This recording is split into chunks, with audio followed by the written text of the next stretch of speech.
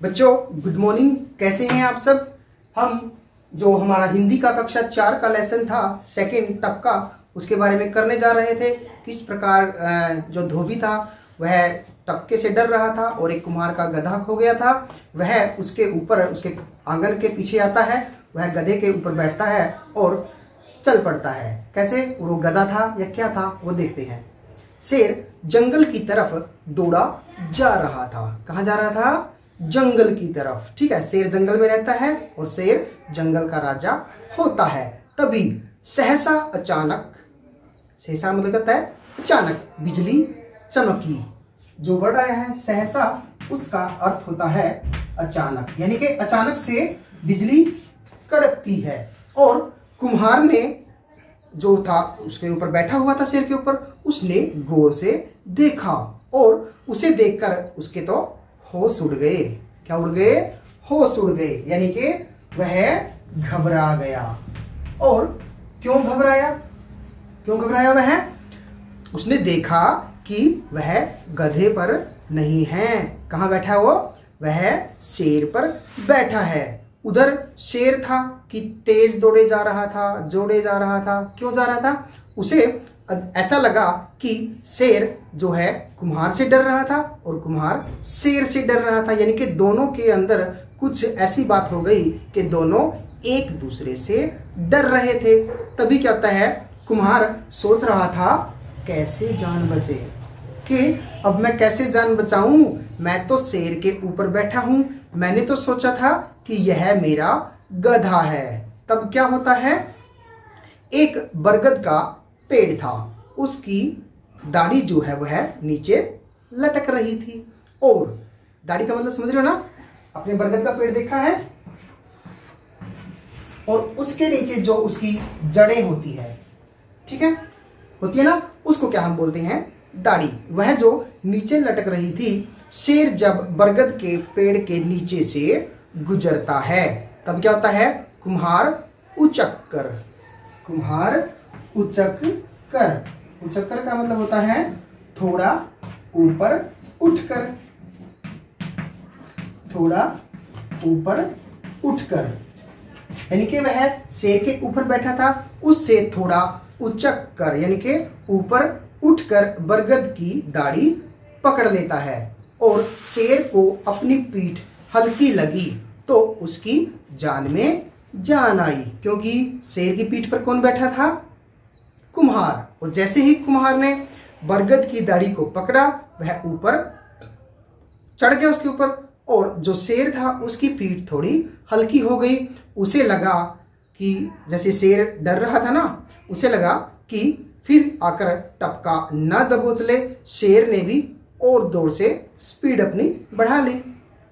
उधर कुमार सोचने लगा कि वह छिप जाए बरगद की खोह में। खोह क्या होता है बच्चों?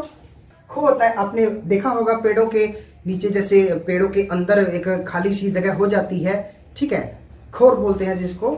वहाँ पर जैसे शेर शेर से वह उचक कर बरगद के ऊपर चढ़ गया। वहाँ और जाए वो कुम्हार था जो, उस खोर के अंदर जाके बैठ जाता है। और वह क्या करता है? उसने बरगद की एक खो, खोजी और छिप कर बैठ गया। वह सोच रहा था कि मैं रात यहीं काट लूँ? यानी कि ज़्यादा रात हो गई थी, अंधेरा था, उसने सोचा कि मैं रात को यहीं काट लेता हूँ, मुझे घर जाने की आवश्यकता नहीं है। बरगद पर शेर चढ़ नहीं सकता, तड़के उठकर मैं घर चला जाऊँगा। उधर शेर था कि भागा ही जा रहा था, भागा जा रहा था। टपके का भय उसके दिल के अंदर इतना बैठ गया था कि वह भागा ही जा रहा था और आगे मिला बंदर।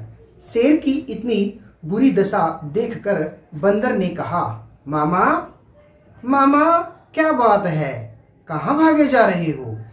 भाग ले भांजे। जंगल में टपका उतर आया है।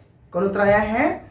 टपका। शेर ने हाफते हुए कहा। मतलब शेर थक गया था दौड़ते दौड़ते हुए और उसने हाफते हुए बंदर से कहा, मामा, क्या बात करते हो? टपके से डर गए। मैं तो इसे बड़े चाव से खाया करता हूँ, बंदर ने हंसकर कहा। बंदर ने क्या कहा कि मैं तो टपके को बड़े चाव से खाता हूँ। अरे भांजे, यह वह टपका नहीं है, यह भयंकर बला है। बच्चों, बला का मतलब होता है मुसीबत, ठीक है? मेरे कान ऐसे ज़ोर से पकड़े कि मुझे नानी याद आ गई। शेर ने गहरी सांस लेकर कहा? अब शेर था, वह टपके से इतना डरा हुआ था कि वह जंगल में दौड़ रहा था, दौड़ रहा था और दौड़ते हुए से सामने बंदर दिखाई दिया। बंदर को उसने कहा कि, भांजे, भाग ले यहाँ से। शेर, यहाँ पे तो एक टपका आ गया है। टपके का इतना भय था कि वह हाँफ हाँफ कर बातें कर रहा था। मामा, दिखाओ तो सही, कहाँ पे है टपका? बंदर ने कहा, आखिर रहे बंदर के बंदर ही। शरारत किए बगैर नहीं रहोगे। चलो, शेर ने कहा। और जैसे ही वो दोनों जंगल से अपने जा रहे थे तो कहा जा रहे थे वो? बरगद की ओर। दोनों बरगद की ओर चले। कुम्हार ने भोर के प्रकाश में देखा। क्या देखा? भोर। भोर का मतलब होता है सवेरा। क्या मतलब होता है? सवेरा। शेर ने जो है आ, उसने कुम्हार ने भोर के प्रकाश में देखा कि शेर और बंदर साथ साथ आ रहे हैं। उन्होंने उसने सोचा कि बंदर उसे ऊपर से नीचे धकेलेगा और शेर खा जाएगा। वह डर गया ठीक है? वह डर कर वह डर कर बरगद की खोह में छिपकर बैठ गया और उसने अपने सिर पर पत्ते रख लिए ताकि उनको वो दोनों के दोनों ना देख पाए। शेर बरगद के नीचे खड़ा था।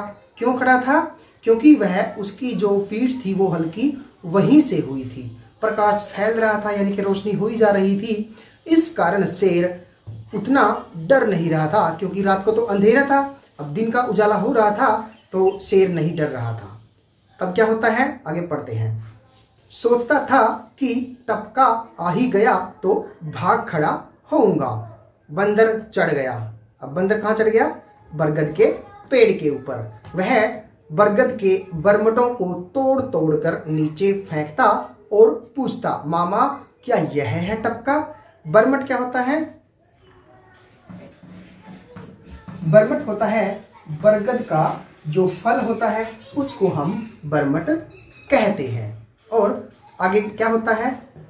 भांजे, जब टपके के काबू में आएगा तो तुझे क्या तेरे पूरे कुनबे को पता चल जाएगा। शेर ने कहा, कुनबे का अर्थ होता है यहाँ पर फैमिली यानी कि परिवार, के यदि तू टपके के, यदि तुझे टपका मिल गया ना तो तेरा पूरा परिवार जो है, मुसीबत में आ जाएगा। और फिर क्या होता है?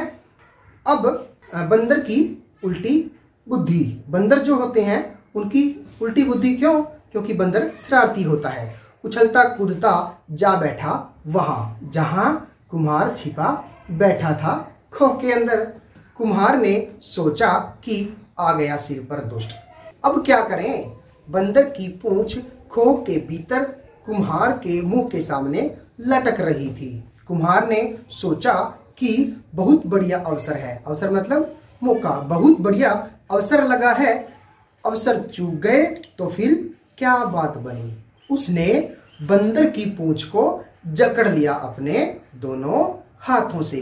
तो आगे क्या होता है कि जो बंदर है, वह मतलब बरगद के ऊपर चढ़ जाता है और जहाँ पर वह कहाँ चढ़ा? जहाँ कुम्हार खो के अंदर बैठा था। अब बंदर जब वहाँ से उछलकर दूसरी टहनी पर जाने लगा, यानी कि वहाँ प्रयत्न करने लगा, वह कोशिश करने लगा कि मैं दूसरी टहनी पर चला जाऊँ तो उससे वहाँ से हिला भी ना गया। क्यों नहीं हिला गया? पूछ भारी लगी। उधर शेर ने कहा क्यों भांजे? क्या हाल है? अब बंदर भी डर गया। क्यों डर गया? क्योंकि उसकी जो पूंछ थी दोनों हाथों से कुम्हार ने पकड़ ली और जैसी वह उचक कर आगे जाने लगा उछल कर आगे जाने लगा तो वह नहीं जा पाया। उसने पूंछ छुड़ाने के लिए ज़ोर लगाया पूरा ज़ोर लगाया। कुछ ज़ोर लगा बंदर का और कुछ ज़ोर लगा कुम्हार का। पूंछ उख, उखाड़वा कर बंदर बैठ गया और धम से जा गिरा नीचे। शेर पहले ही भाग खड़ा हुआ। शेर ने सोचा कि आ गया है अभी तो टपका तो वह शेर डरकर पहले ही भाग गया। बंदर भी उठकर भागा। दोनों भागते भागते बहुत दूर निकल गए। शेर बोला, क्या बोला? क्यों भांजे? आ गया ना काबू में टपके के मामा, कौन कहता है कि वह टपका था?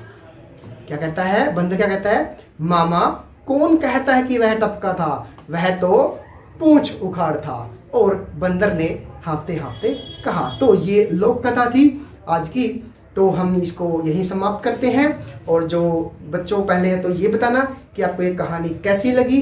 अगर आपको अच्छी लगी है तो कमेंट में ज़रूर लिखें। और इसके जो प्रश्न उत्तर है, वो आपको मिल जाएँगे।